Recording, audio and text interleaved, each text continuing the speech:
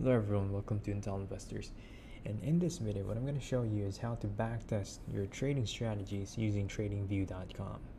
Now, as you know, TradingView is one of the popular trading platforms available um, because of its social sharing capabilities and also um, it's fairly easy enough to use for most traders.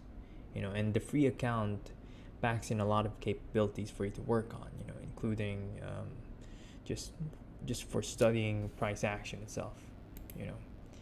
And not just that, it also has the um, capability to backtest your trading strategies, and that's what I'm about to show you now.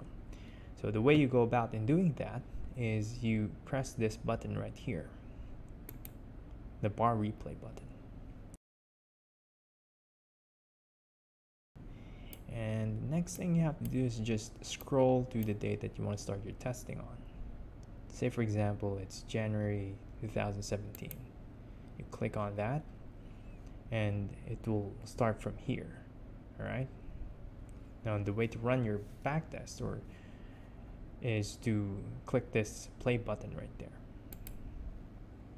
Now as you can see there's a new candlestick appearing on the right side. And what you can do is you can control the speed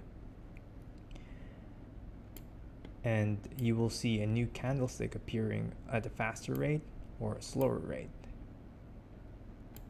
And from there, you know, you can just place your studies right here or add another indicator.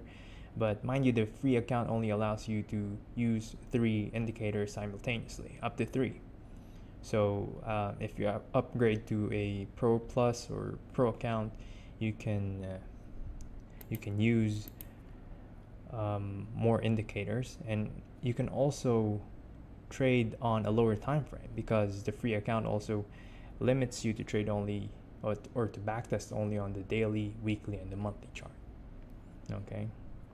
So there you go. Try it yourself and uh, let me know about your thoughts on the comments section below. Thank you